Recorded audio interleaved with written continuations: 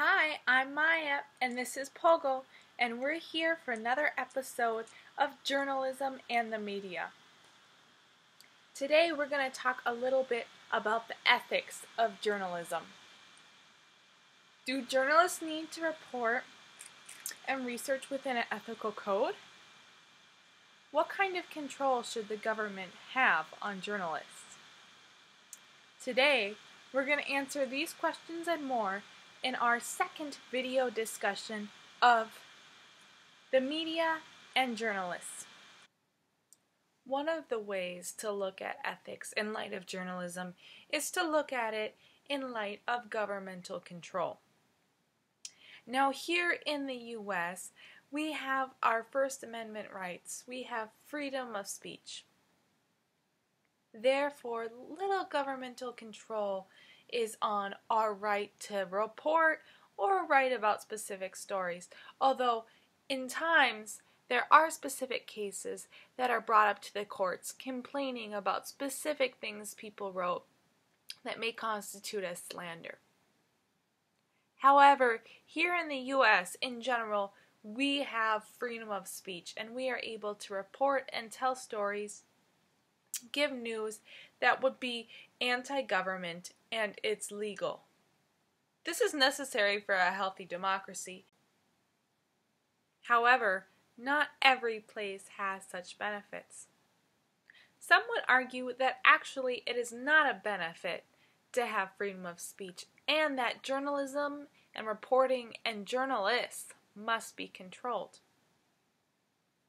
We're going to take a look at a couple articles here that talk about the two different sides, and then we'll come to a conclusion at the end. In many countries, such as Zimbabwe, the government imposes regulations, whether in true laws or just in practice, of what they allow journalists to say. In India, this is also becoming a huge problem. Journalism in India is like going to war, says Senior Scribes of Kutch News. There is an increasing battle for Indian journalists to report on what they find to be the news or to give opinion pieces on the news that doesn't align with the government. And this is actually causing an increasing amount of danger for those types of journalists. India is now known as Asia's number one country for crime against journalists, higher than Pakistan and Afghanistan. This is particularly both interesting and concerning for me. I have spent several months living in India as a local volunteer, and I so enjoyed my time there, and I made a lot of friendships. But it is concerning that the government is taking these steps to try to regulate journalism in a way to just promote their own self interest. The Indian government has been uh, corrupt for a number of years and has been worked in a lot of different ways to just promote politicians. Sometimes journalists are bribed to write certain things in India, or if they actually talk poorly about a politician, there have been instances when the journalist was found dead several days later. This is very concerning for us as journalists, as people who are reporting the news, because there's always a concern something like this will happen in our country, even though we have First Amendment rights and there's freedom of speech.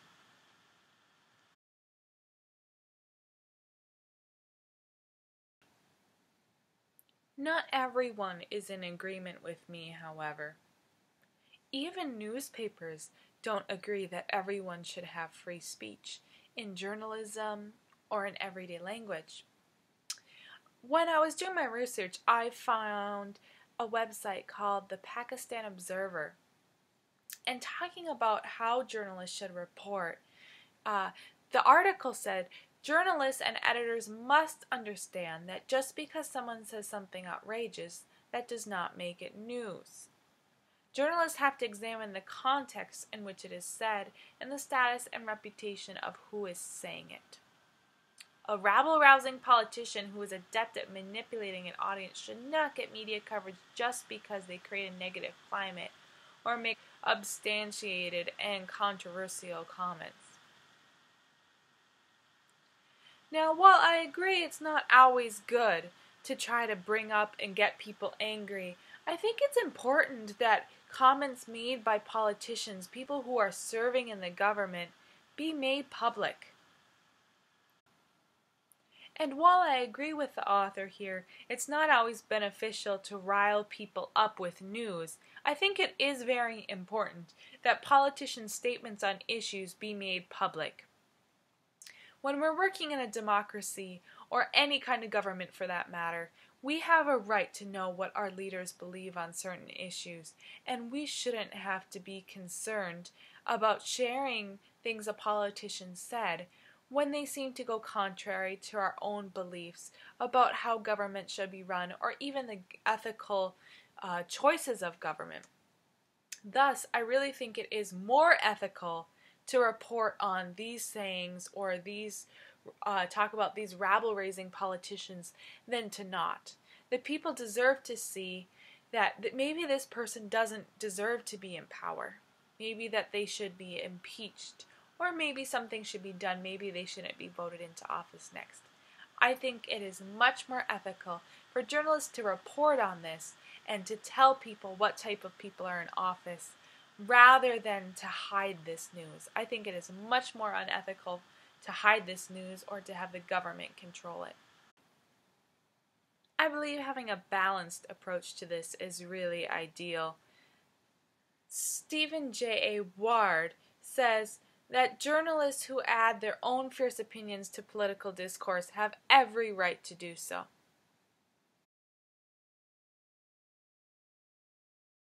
I agree to a point. I don't always think that it's good to have those opinions without sharing to the audience that they are opinions. We'll talk about that more in a second. But what I find to be the most ethical for journalists to do is actually follow the Ethical Journalism Network and follow these set standards of what I think and they think are good rules for journalism. This website, the Ethical Journalism Network, sets out five principles of journalism. The core principles of journalism that set out provide an excellent base for everyone who aspires to launch themselves um, into the public sphere to provide information.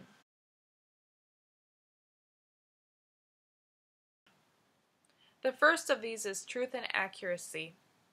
Journalists cannot always guarantee truth, but getting the facts right is very important. The second of these is independence.